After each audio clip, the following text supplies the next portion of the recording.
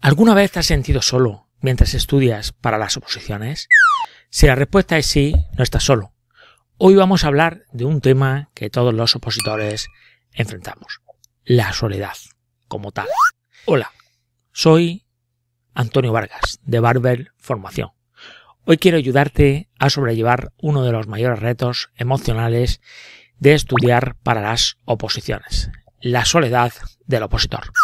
Sabemos, por años de experiencia que llevo, eh, que prepararse para ser funcionario de la agencia tributaria es un camino que requiere sacrificios y a menudo puedes sentirte muy solo y aislado.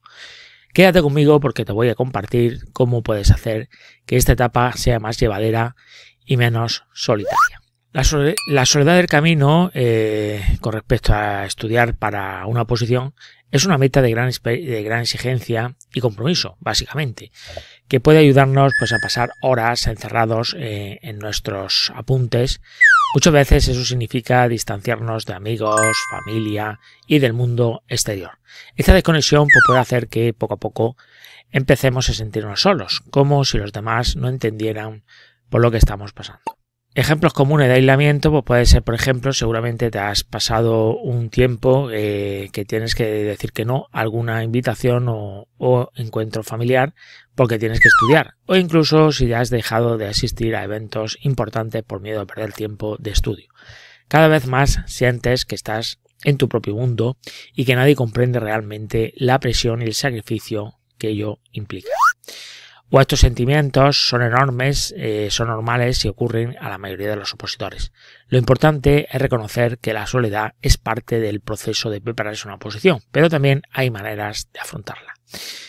Te doy un consejo, pues en principio crear redes de estudio, nosotros aquí, para nuestros alumnos, he creado dentro una comunidad interna llamado Guerreros y Guerreras y a mis alumnos, pues lo que, lo que hacemos en encuentros semanales, a través de nuestras clases presenciales o virtuales, tenemos un grupo de WhatsApp privado en el cual, pues bueno, donde todas las mañanas se aportan mensajes motivadores y se da valor añadido de jurisprudencia eh, para la oposición, que siempre ayuda a entender mejor la posición y ejemplos prácticos. Por otro lado, todos los martes nuestra psicóloga especializada de coaching, también para opositores, pues a nuestros alumnos, a nuestros alumnos sobre estos temas.